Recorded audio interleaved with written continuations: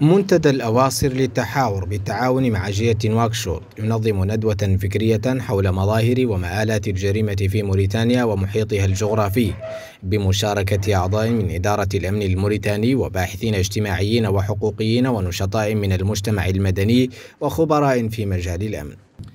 فيما يخص الأسباب هي كثيرة طبعا كما تعلمون بأن الجريمة بشكل عام تتدخل فيها الكثير من آه، العوامل.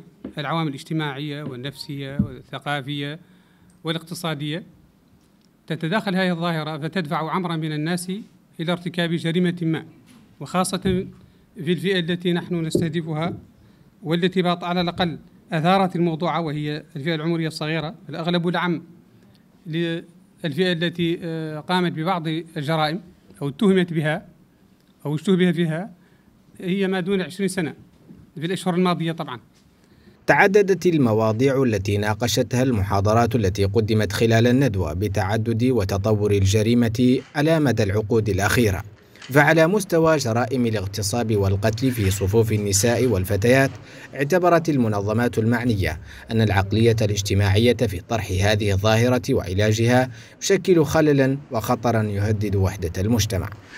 يا غير الغريب عندي عن جريمة الاغتصاب تعاطي المجتمع معها يختلف من مكون إلى مكون آخر. لأن منين نقولوا جريمة الاغتصاب؟ منين تعود؟ من محيط متنفذ أصحاب سلطة عندها زخم إعلامي وعندها زخم اجتماعي. بعيد كل البعد عن جريمة الاغتصاب في محيط من الفئات الأخرى. إما محيط الحراطين إما الكور إما يفلا والجريمة تبغى جريمة. ويجب أن نبتعد عن هذا التعاطي لأن نحن مجتمع متماسك. رغم عن أنهكتنا السياسات والحركات والأفكار ذا اللي باقي منين تعود الجريمة فيه؟ ما تعالج كجريمة مهما كانت؟ هذه مشكلة وهذا خلل وهذا خطر يحتق بنا.